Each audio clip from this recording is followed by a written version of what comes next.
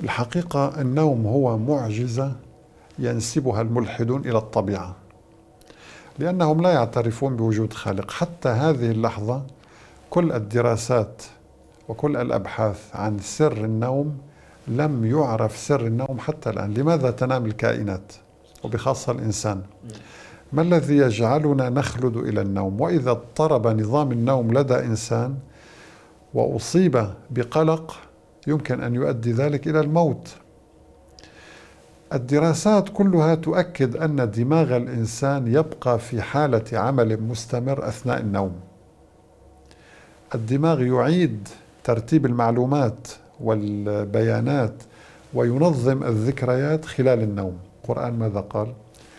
قال ومن آياته منامكم بالليل والنهار وابتغاؤكم من فضله.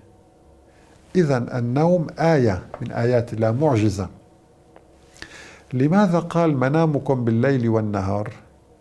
لأن العلم أثبت أن النوم بالنهار لا يقل أهمية عن النوم بالليل. لذلك النبي صلى الله عليه وسلم نبه إلى هذه هذا الأمر وقال قيلوا طبعا القيلولة في النهار لا تكون في الليل. قيلوا أي خذوا غفوة بسيطة في النهار. قيلوا فإن الشياطين لا تقيل.